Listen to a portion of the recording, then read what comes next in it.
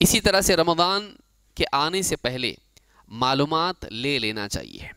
N वक्त में रात के दो बजे आलिम साहब को फ़ोन किया कि आलिम साहब, अगर इंसान रोज़ा में बाल काटे तो रोज़ा टूटता क्या? कई लोग हैं, ऐसे सवाल पूछते हैं जो एक आम मुसलमान को मालूम होना चाहिए कि बाल काटने से रोज़ा टूटता कि नहीं टूटता, उसको अभी तक नहीं मालूम है। आयन रमदान के महीने में वो पूछ रहा है, रोज़े की हालत में पूछ रहा है। उसको चाहिए कि पहले से मसाइल सीख ले। की किताबें मौजूद हैं, खिताबात मौजूद हैं मौजूद हैं। वो देखे कि क्या क्या चीज़ें उसको मालूम होनी चाहिए।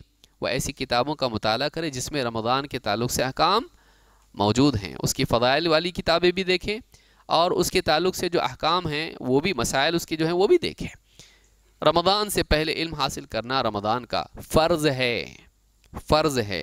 अल्लाह के नबी सल्लल्लाहु अलैहि वसल्लम फरमाते हैं तलबुल्म फ़रीदतन कुल्ल मुस्लिम इल्म हासिल करना हर मुसलमान पर फ़र्ज़ है ज़ाहिर बात है वज़ू करने से पहले वज़ू का इल्म होना चाहिए नमाज़ से पहले नमाज़ का इल्म होना चाहिए रोज़े से पहले रोज़े का रमज़ान से पहले रमज़ान का लिहाजा अमल करने से पहले इल्म हासिल करना फ़र्ज़ है तो हम रमज़ान के आने से पहले अभी एक महीना हमारे पास है जो जो मसाइल मालूम होने चाहिए रमज़ान के हम आज मालूम करें कब मालूम करेंगे रमज़ान आने के बाद नहीं अभी से उसकी तैयारी करें अभी से उसको मालूम करें।